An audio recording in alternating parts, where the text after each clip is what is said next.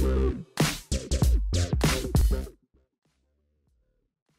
Hey everybody, eu sou o VD e esse é o novo VD Responde. Só que antes de começar a responder as perguntas, eu vou falar só uma coisa rapidinha, que é o seguinte. No dia que eu postar esse vídeo, vai ser no dia 8, né, segunda-feira, 8 de agosto, e vai ser um dia depois do aniversário da minha amiga Nana. Nana, se estiver vendo esse vídeo, parabéns. Agora falando as perguntas. Quais animes você está assistindo recentemente? Eu tô assistindo só Evangelion recentemente, né? Eu tava assistindo antes Giant Robo, Get Backers e Fullmetal Alchemist clássico. Então eu dei uma pausa pra poder assistir Evangelion. Só que basicamente é isso. Qual anime você pretende ver depois?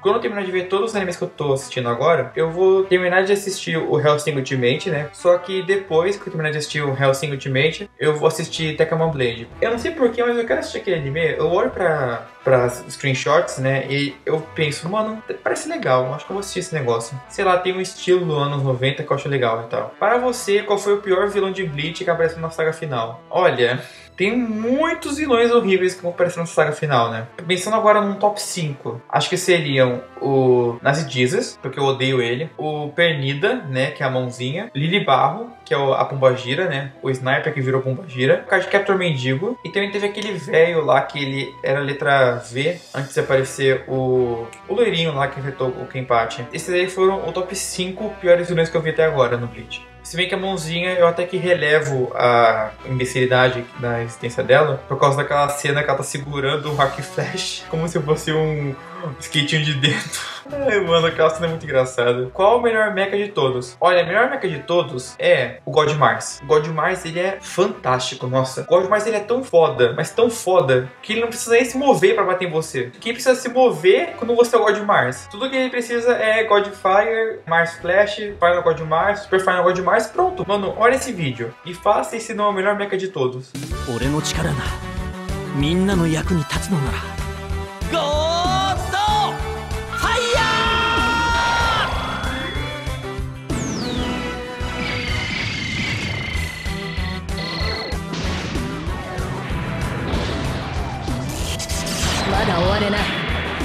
俺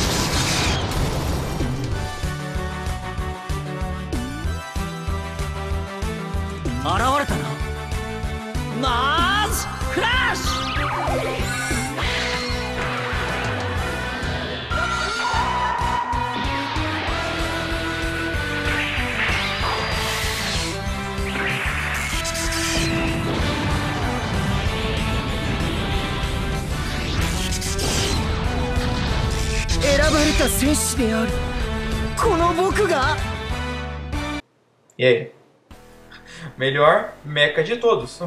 A sua rua faz muito barulho quando você vai gravar vídeo? Sim, muito barulho mesmo. Eu ligo essa câmera, fudeu. Parece que tá todo mundo me olhando. Quando eu ligo a câmera, todo mundo fica tipo, não, mano, vamos fazer barulho agora. Inclusive, eu tô tentando gravar vídeo é desde manhã, né? Porque eu cheguei aqui cedo. Era umas 10 horas e pensei, ah, vou gravar vídeo, né? Por que não? Só que tinha gente na rua falando, né? Porque pra que conversar dentro de casa que pode falar na rua, né? Pra todo mundo ouvir. Qual é o seu personagem favorito de Gigana? Personagem favorito masculino seria o Domo. Eu sei que o Domo é retardado, né? Tem umas horas que eu fiquei pensando, mano, Domo, você é muito burro, cara. Não, você é burro, cara. Que loucura. Isso aí que você falou é burrice. Eu não consigo entender como você fala porque você fala de uma maneira burra. Eu me senti assim com o Domo às vezes. Só que eu também me identifico um pouco com ele, sabe? Personagem favorita feminina seria a Rain, porque a Rain ela é Girl. Pra mim a Limby é segundo lugar por causa que ela aparece meio pouco, né? Assim, as duas são muito fodas, só que das duas eu prefiro a Rain.